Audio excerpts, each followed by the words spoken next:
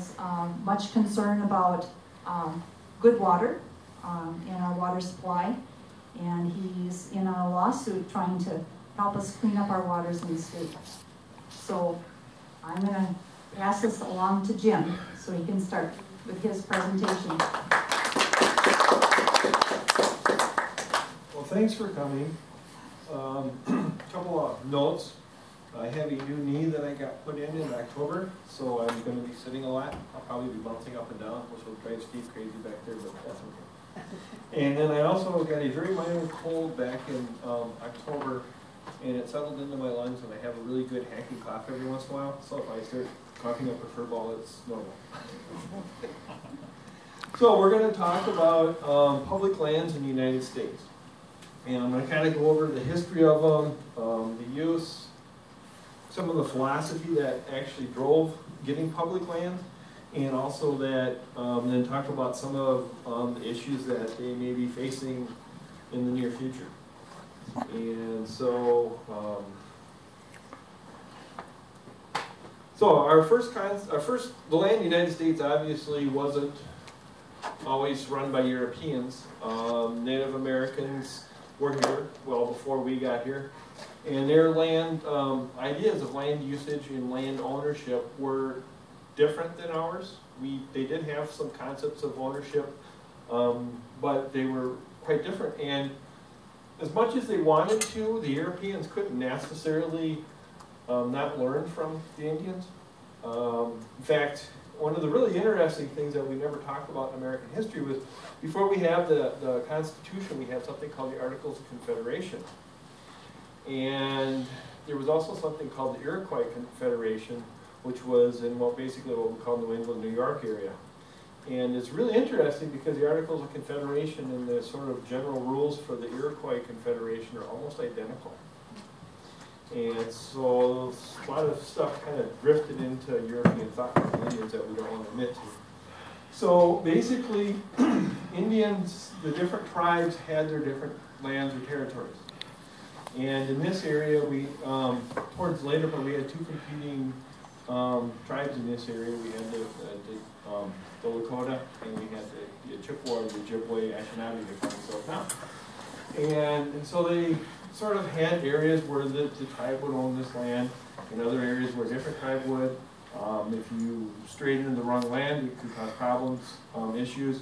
And then within the, the tribal lands, um, depending on the tribe, it really depended on which nation, you know, and whatever, their customs were different.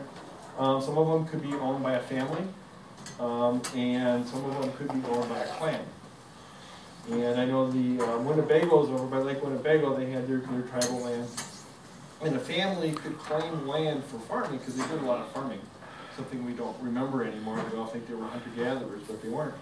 Um, you could shoot your bow and arrow and as far as the arrow would fly where it landed, that was the land you got to farm. And so they, they had different things like that. Also, a lot of the land that the Native Americans, um, they were mostly matriarchal societies. So instead of passing from father to son, it was from mother to daughter. So that was quite a bit different. The other thing is that, especially the hunter-gatherer tribes, um, they felt that the animals and often the, the other living things on the land also had a right to that land. So it greatly restricted what they would do and how they would take care of the land.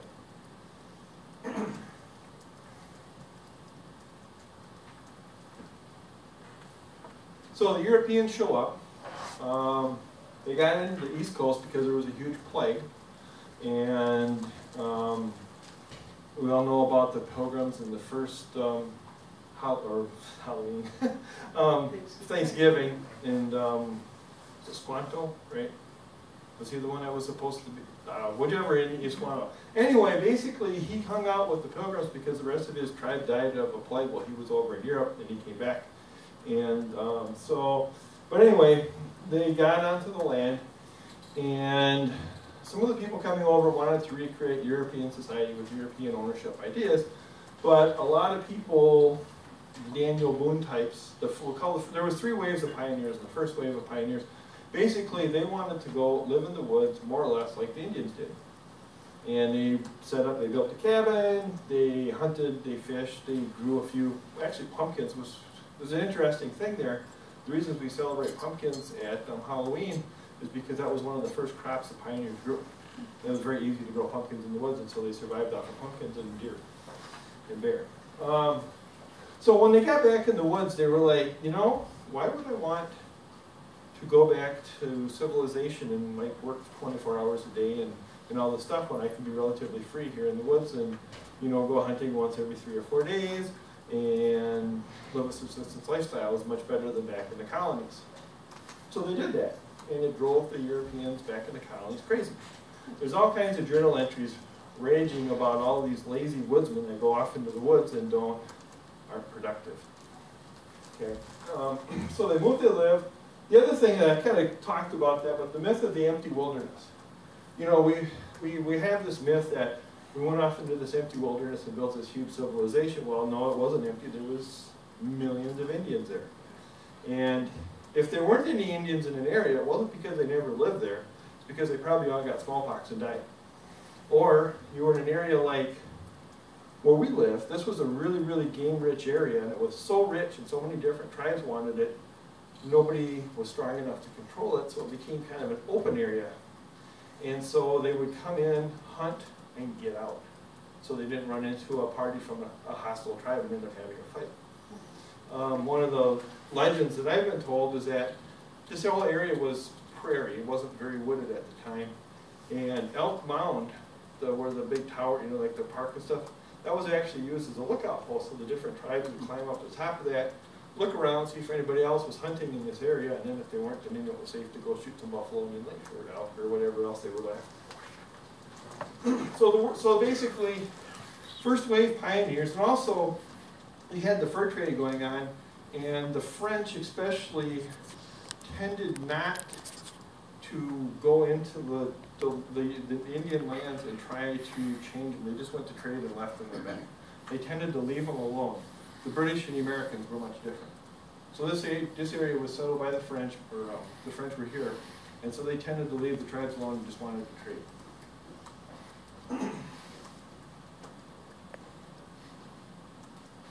So then we have the second and third wave pioneers, and these are the guys that always make Hollywood.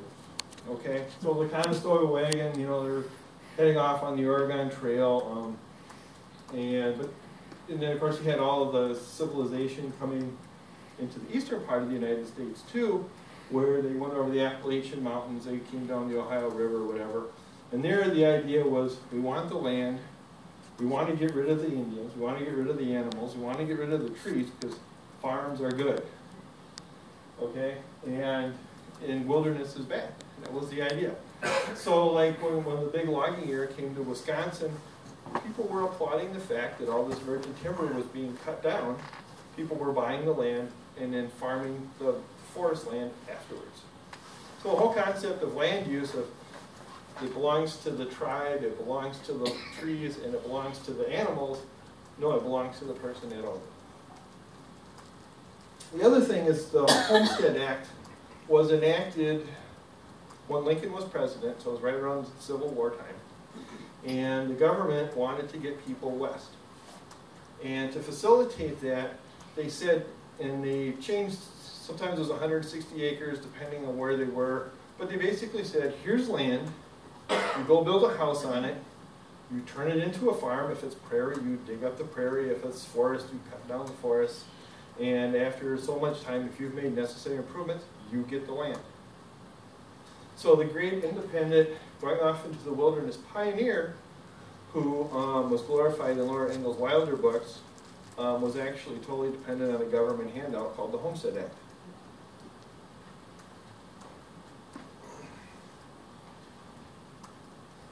So in, uh, well, from the time of the Industrial Revolution was 1820, the 1830s when that got going, all the way up until, well, the 1870s, we'll see when conservation ideas started. The idea was get a hold of the land and get the resources out of it. And so we cut down the forests, and like I said, we didn't want to rebuild the forest because we wanted farms. So you cut down the forest, you didn't plant new trees, you just and it was huge, huge waste with like the forest um, stuff that happened. And like I think it was like almost half of the lumber never actually got to the mills. They would get lost in the drives or burnt up or whatever. Um, of course, when you're deforesting things, when you're getting rid of the prairies, you're destroying habitat. So a lot of animals went extinct. Um, we also had market hunting. Um, so animals like the buffalo and around here was the elk. Um, really big thing in Wisconsin was birds, prairie birds, like prairie chickens and stuff. Um, they were just slaughtered in mass, waterfowl, and put on trains and shipped to places like Chicago to feed people. Um, because of all of the wildlife, the changes of habitat, um, rivers were being dammed, um, you know, wetlands were being drained. Um, we had massive flooding, especially along the Mississippi River. And, you know, everything flows in the Mississippi. Um, there was no flood control back then, and one of the worst floods was in Tupelo, Mississippi, where it just, like half the state of Mississippi, basically, the whole delta region of Mississippi, one year got flooded. As you can imagine, a lot of people didn't make it. And then you also had three major wildfires I'll talk about a little more. One was in Wisconsin, the Peshtigo fire, um, the Hinckley fire in Minnesota, and there was a huge fire out west called the Big Blow Up. It was in Wyoming. It was actually, in, I got Wyoming up there, but it was actually in three different states. And it burned an area about the size of Connecticut.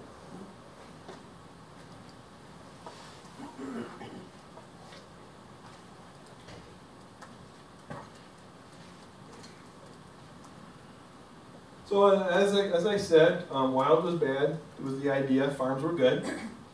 Um, you know, consciously they were trying to build a major nation. You know, the people running the country, the presidents and whatever. We want the United States to be the biggest, most powerful country in the world. We got all this land. First we grabbed the land, and then we decided to build the nation. So there was a conscious decision on their part. And the idea of manifest destiny, I'm sure you all remember that back from high school civics, you know, um, coast to coast and around the world. There's also something called the gospel of wealth. And um, basically, boiled down, it's really simple. If you're rich, God loves you. um, there's more, more to it than that, but basically this developed in the late 1800s. Um, the robber barons loved it. Um, it's actually had a revival now in the last 30 or 40 years, believe it or not. Um, and a lot of these evan televangelists are preaching this quite good. The more money you have, the more you're blessed, and the more likely you are to go to heaven. I guess when you take the gold with you, I don't know. but anyway, so that's come around. And then the other really important thing that starts happening is in the late 1800s. Um, I, I don't remember exactly the date where it happened, but the population of the United States starts shifting from the rural farming communities to the cities. And I think it's somewhere between 1900 and 1910 when we now have more city dwellers than we have farm, farm dwellers, rural dwellers. And that causes a lot of changes in the way people think. One, um, it actually gave birth to the rise of sports. And because people were like, oh my gosh, if we don't have people on the farms working and they're living in the cities, they're just going to like be fat and wimpy and not be able to like be in the military because they're going to be too wimpy to be soldiers. So we have to have ways to keep people in shape.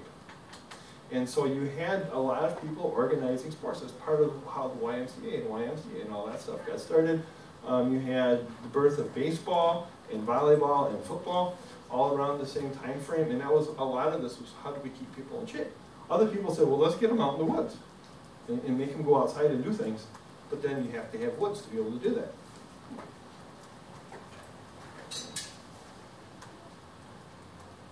So conservation started, well the first conservation writer was Thoreau. And he was right at the beginning of the um, Industrial Revolution. But his ideas really didn't catch on. And then people started in the 17, you know, late 1800s, 1870s and stuff, people started realizing that passenger pigeon was vanishing. You know, there was there was flocks of passenger pigeons that were so big, they would take two or three days to pass in one spot. I mean, there was just literally millions and millions of these birds. Um, the buffalo started, well, first they were intentionally trying to kill off the buffalo, especially out west because, um, you know, those crazy Indians, they went and wiped out the 7th Cavalry.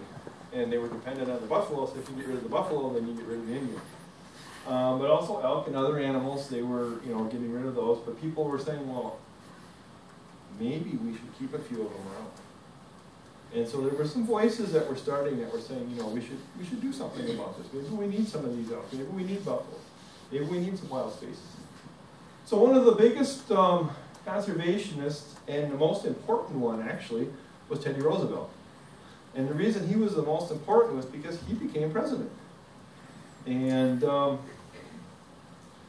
he did some things that really irritated the powers that be, the robber barons of the 1800s. You know, he was the, the first progressive, the moose, and as I said, we bought the son of a bitch, and he didn't stay bought. He actually did stuff for the common people. Um, so anyway, so this is a quote from him. I got a couple of them. Um, but basically, he says, above all, we should realize the effort towards this end, and the end he's talking about is conservation.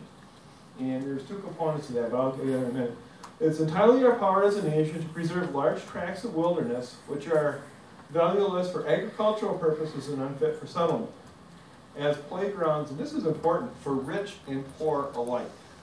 So to me, there's, there's really three key words in that first sentence or so, is democratic movement and benefiting both rich and poor.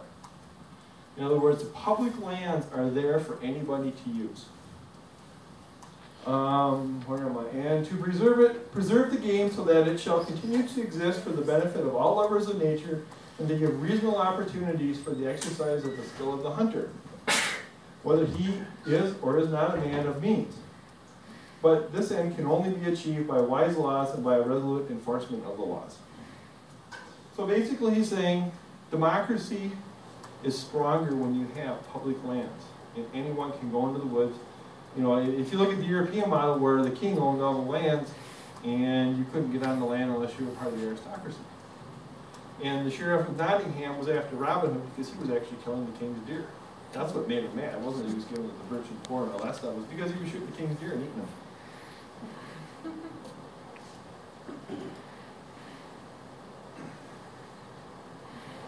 Um, so another quote from Teddy Roosevelt, surely our people do not understand even yet the rich heritage that is theirs. There can be nothing more beautiful than the Yosemite, the groves of giant sequoias, the redwoods, the canyon of the Colorado, the canyon of the Yellowstone, the, tree, the three Tetons. Our people should see to it that they are preserved for their children and their children's children forever with their majestic beauty all unmarred. Now the interesting thing about that last sentence is that comes directly from the idea of the Native Americans, who, who a lot of tribes have what they call the seventh generation. When you make decisions about land, you think about the seventh generation. How is it going to affect them? And so you see where this creep is coming in from the natives and all this other stuff. And now we're starting to look in the late 1800s when there's all this environmental devastation going on, very deliberate in the devastation, are saying, wait a minute, we need to rethink this.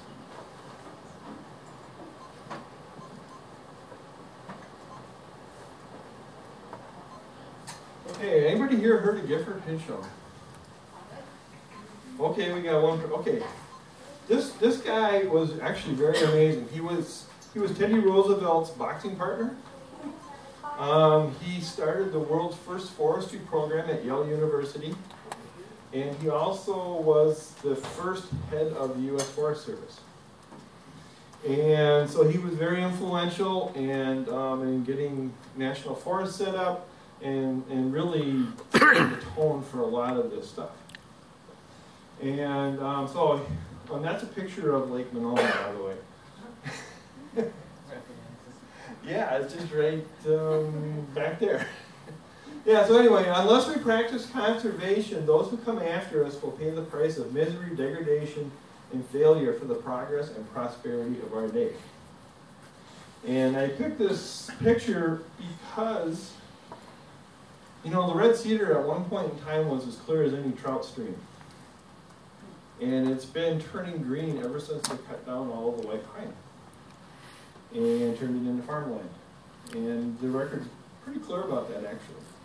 So their prosperity, they didn't do a good job, and this was the result.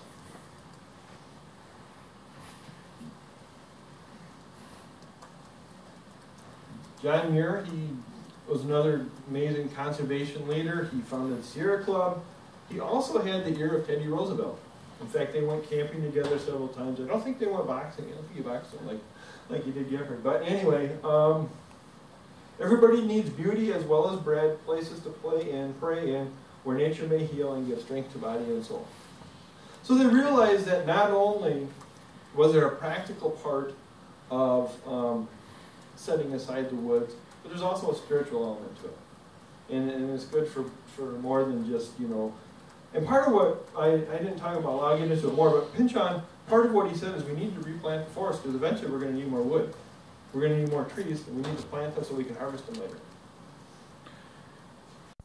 And finally, Sigurd Olson, who started, when did he start writing, in the 1930s?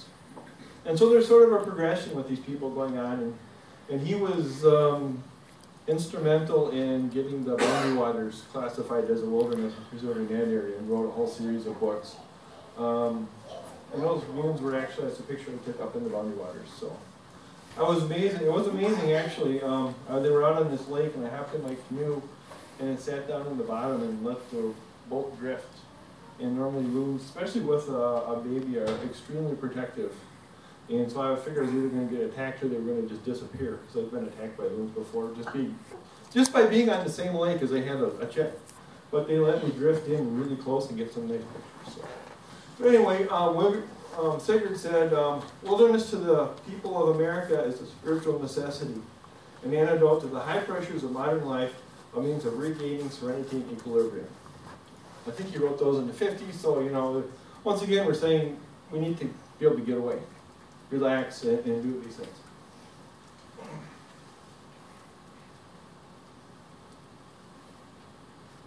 So the fires, the big fires, the Hinckley fire, the big blow up of 1910, and the Peshtigo fire. A lot of people died. Um, we actually don't know how many on the Peshtigo fire, they have no idea because there just wasn't any remains. Um, people just, they burnt up the end to the point where they could even find them. Um, there's a lot of people living out in the woods and they just don't know. Um, same thing with the Hinckley fire. Uh, they had a better idea on the big blow but still it was a lot of people. Uh, so that obviously made the news. The huge fire people weren't, the news wasn't much different back in the day than it is now. If they got something sensational, they're going to run with it. They just didn't have TV, there was all the newspapers. So everybody knew about it. Um, and the Forest Service had been set up before 1910 but there was people that didn't like the fact that there was public land and public forest, and they were in the Senate, and so they had pretty much, and it's going to sound real familiar, made sure there wasn't enough funding for the Forest Service. So when these fires hit, they were unprepared. They sent Forest Service people out. They even called out with the big, the big burn. They actually sent even military folks out there to try and help, but they had no idea what they were doing. They didn't have the equipment. Um, so these fires just got totally out of control. And like the Peshtigo and the Hinckley fires, those were areas where there was lots of logging going on. Um, and the fires didn't have a central source when they started, but they would cut the fires down. There was lots of slash and all sorts of things left over, and they would just burn it so they could clear it so people could farm it. And so you basically had what we now call a fire storm, and uh, really interesting about the Peshtigo fire was um, not a good, not in a good way, but the American military studied how the Peshtigo fire started during World War II, and then they used the same techniques for their fire bombings of cities in Japan and Europe in order to burn the cities to the ground. And um, what, what they figured is there was lots of little epicenters where the fire started, and then they came together and they actually, the, the fire was so powerful, like a hurricane, it created its own weather. And it sucked wind in, it put rain, I mean, it was pretty amazing what happened. So anyway, um, after this fire, um, fire was bad, because people died and things got burned up. So the mission of the fire forest service became suppressing fire. And so they totally ignored centuries of fire as a um, ecological force in nature and just said, we're going to put out every fire. And they had what they called the 10 o'clock, 10 o'clock in the morning rule, where if they found a fire, they wanted it out by 10 o'clock the next morning. It wasn't always possible, that was kind of their concept. We'll just put fires out. And we're actually still having problems with that today. because um, in areas where no fire has burned, you have what's called fuel loading. In other words, you got all this wood there, half of it's dead, it's all ready to burn, and when a fire does start, the fires get much more intense, much hotter, and so they figured it out probably 20 years ago that sometimes fire is a good thing, but there's just so many problem areas that they haven't been able to deal with them.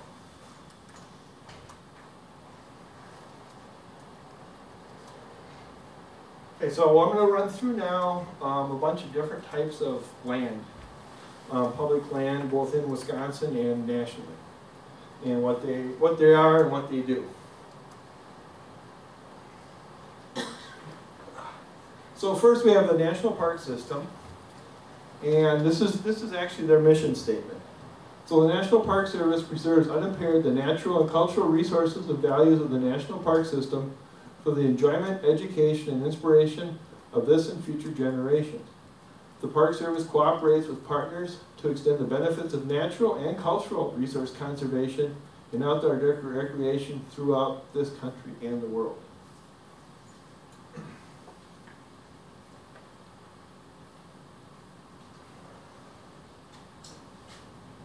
So the world's very first national park was Yellowstone. And we're the first nation to have a national park. No one had ever done this before. And it was created by Ulysses S. Grant, the president, 1878. And it's been copied by nations all over the world. Um, and it also created kind of the whole idea of tourism.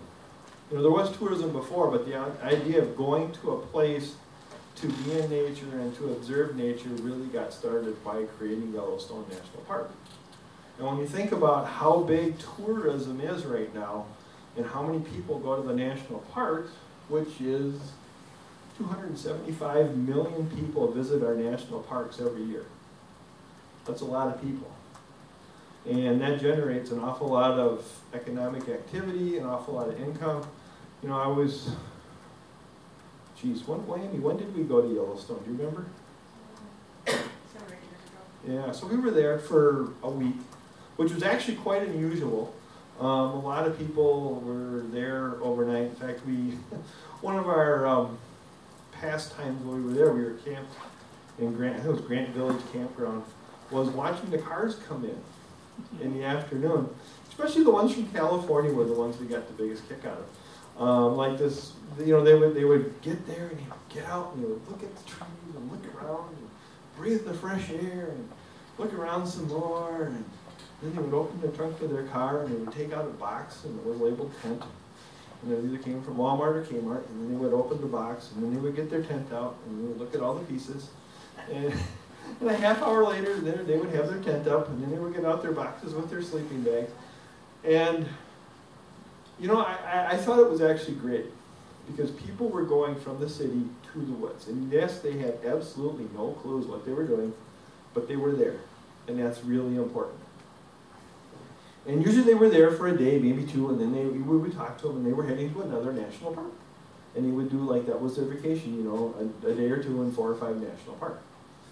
Um, and we, the National Park Service as you can see from the list, the rest of the list of all the different sorts of designations we have for public lands run by the National Park Service. So we have parks, we have national monuments, um, and those can be big or small. It could be anything from the Statue of Liberty to like some of the national monuments that Obama just declared right before he left. Those cover some pretty significant areas. Um, you have national lake shores, of which we have one here. We've got the Apostle Islands. National Lake Shore, we have national seashores, we have trails and we have national riverways. And here in Wisconsin, we have the St. Croix Riverway. And it covers the Namekagon River and the St. Croix River from their headwaters all the way down to where they confluence with the Mississippi River. So it's a lot of land, it's a lot of different things, and there's a ton of opportunities for people to get outside and do recreation. And uh, that cartoon, whatever, didn't print very well, but anyway, there's a whole bunch of animals there. And last year was the 100th um, anniversary of the birth of the National Park Service. And it says, um, I'm sorry, um, but that's all we that's all Congress would budget for our celebration. Keystone. And, and actually, yeah, the National Park Service is greatly underfunded, as, as most of these things are right now. National Forest Service. Um, this is the one that Gifford Pinchot ran. Um, that picture is, by the way, is from the Chequamegon National Forest. That's Marengo Falls, which is real close to St. Peter's Dome.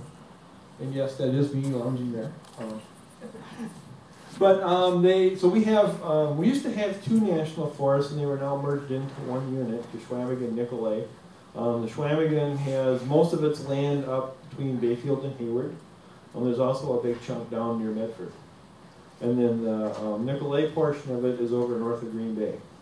And there's a big chunk of land there. Um, there's national forests all over. Uh, another close one a lot of people here have probably been to is the Black Hills.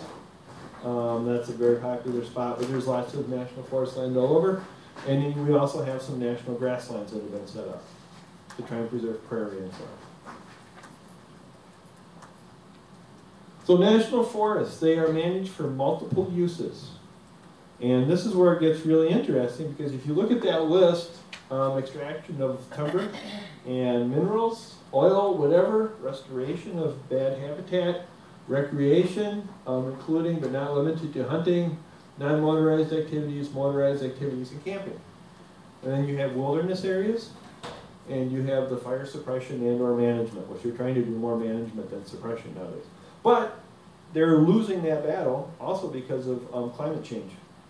Um, last year, over half of the budget of the National Forest Service went to fighting fires because they're getting so much severe because of the different droughts and things that are going on. And they're actually having to take money from other programs to fight fires. And so they've been asking for more money from Congress for a while now to um, fight the fires. But you just look at that list, and you know you look at mineral extraction or logging, and then you look at camping and some of the other motorized, you know, non-motorized and motorized uses. You realize there's going to be conflicts. And so a big part of what the Forest Service does is try to figure out how to manage user conflicts. What's going to be logged. And some of the more, um, you know, things we've, I'm sure how many of all you folks with gray hair like me probably remember the spotted owl controversies out on the west coast over, and, and that was all about, are we restoring a species that's endangered, the, the, the um, spotted owl, or are we going to do logging? You know, we get this same thing here in Wisconsin. Um, now, the interesting thing in Wisconsin is that the um, paper industry isn't as big as it used to be in a lot of paper mills up close, so there's not as much logging going on in both the federal lands and the state forests. And so because of that, in the northern part of the state, as the forest ages, different types of animals take advantage of the habitat because it's changing. So one of the controversies in Wisconsin right now, I'm sure you've heard of the wolves. Some people hate wolves, some people do, some don't. But they blame wolves because there's no deer in northern Wisconsin anymore. Well, a big part of the problem is that the habitat has aged and it doesn't support deer like it used to. You know, Wisconsin, when it got, northern Wisconsin, when it got a reputation for being a deer hunter's haven, was because it had been clear cut and you had a young forest and it was all regenerating and it provided lots of food for the deer. Now that's changed, it's an old forest again and there's less deer. But people don't want to look at that, they just want to blame the wolves.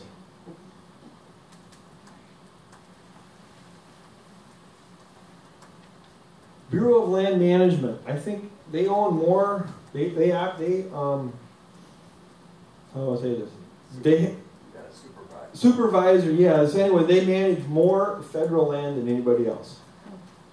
And the agency was actually started under Harry Truman as president, and he took two other agencies that were responsible for federal land. One was for grazing, and the other one I forget what it was for. But anyway, he managed, he merged these two together into this agency. And so once again, it's multiple use um, because grazing was their original uh, program, but also energy extraction, um, especially um, oil and gas. Um, they're leasing, they're always putting out leases for oil and gas, and that can tend to be really controversial at times, depending on where the lease is and conditions. Um, wildlife habitat recreation. Uh, when I was on their website, they're really promoting mountain biking right now for whatever reason on BLM lands. And and the wildlife habitat leads to hunting, and an awful lot of people, if you have friends that go out west to hunt antelope or elk or anything, there's probably a really good chance they're on BLM land.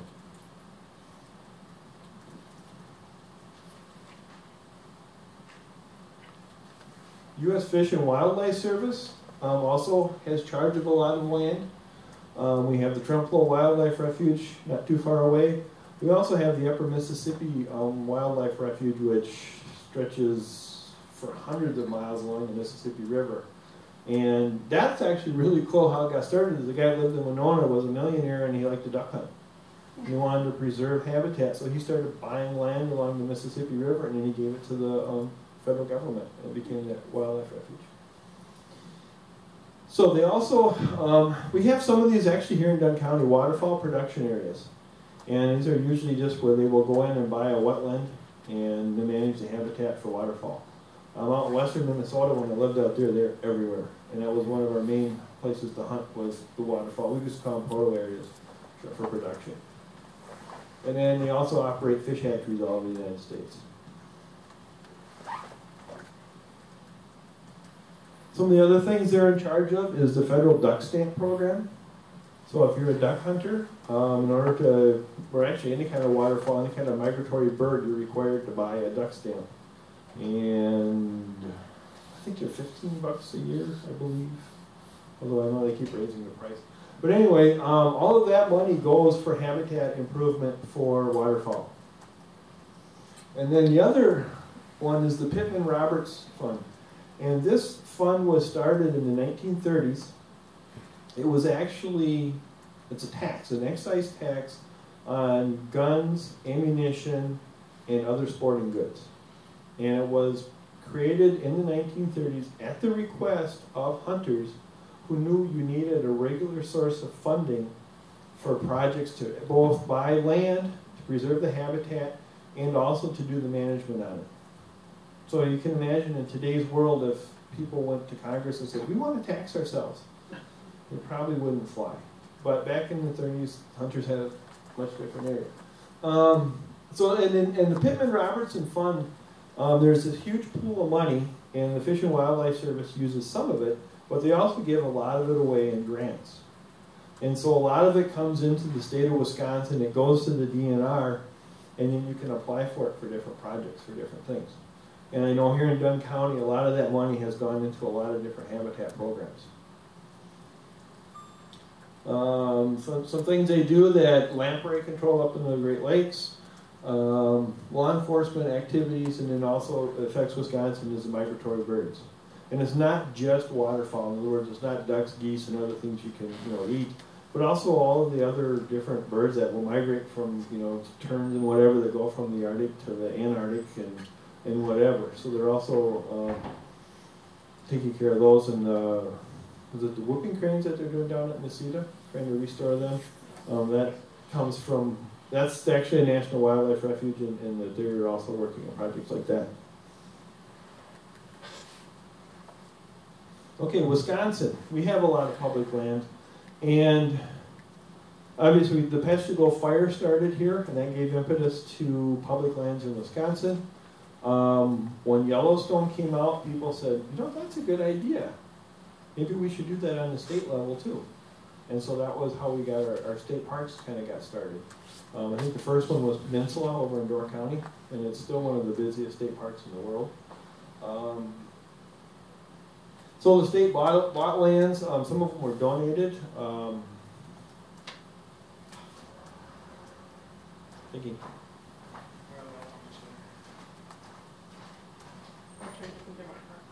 Yeah, um, so one just south of Duluth with Big Manitou and Little Manitou Falls, or the big, um, starts with P, okay, my mind is blanking. But anyway, that, that there was, um, once again, another wealthy person thought it was such a beautiful place and wanted it preserved. So when his developer friends were gonna buy the land and turn it into a housing development, he bought it up from under them and then donated it to the state. Pattison, that's it, Pattison State Park, yes. Yeah, that's just a beautiful place. So we have state parks, we have state trails, which right here, you know, we've got an extensive bike trail system, starts here in Dunn County and runs all the way up to um, Cornell.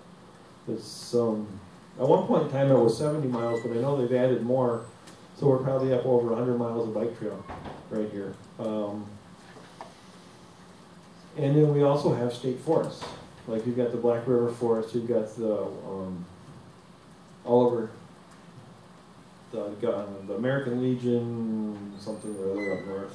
So there's, there's a lot of state forest land. And all of these, um, we get the recreation areas too, like Hoffman Hills, it's not a park, it's not a forest, it's the recreation area.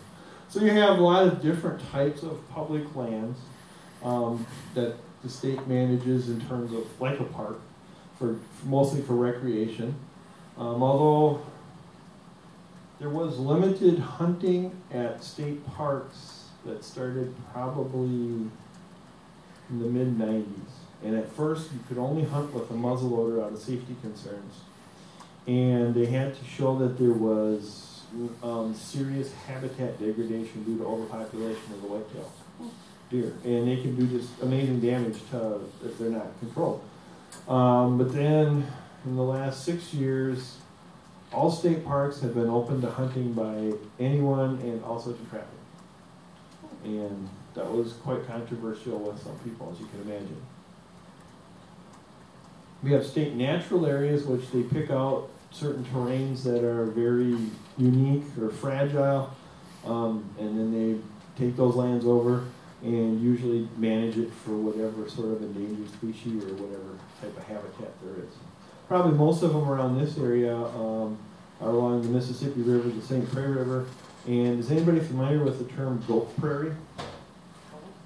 Oh, he is. Okay, we, got We have one. Here. We oh, really? Yeah. Okay. So anyway, like I said, in, initially this area, the bluffs and stuff were actually prairie.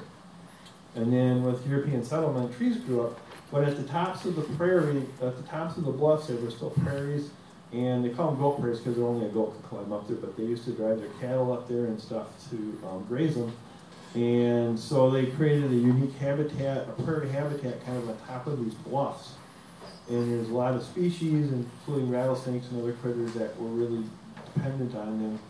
And because of land use changes in the last 30 years, they're kind of disappearing. They're starting to be overgrown with forests and whatnot. And so now there's an effort to try and preserve them. And um, they're you know restoring and cutting down the trees, doing burns, planting prairie grasses and whatnot that belong up there.